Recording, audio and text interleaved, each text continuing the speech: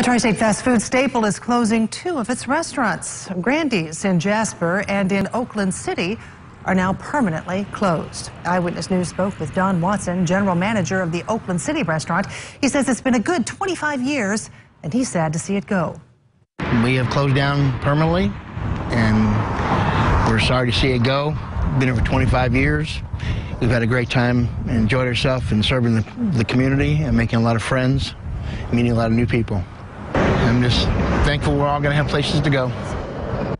Service Inc., the company that owned Grandy's, states in a Facebook post that all management and team members of the Jasper Grandy's and the Oakland City Grandy's will be offered employment at nearby service operated locations. Watson told us he will be going to Wendy's, which is part of the Service Inc. company. Coming up on Eyewitness News at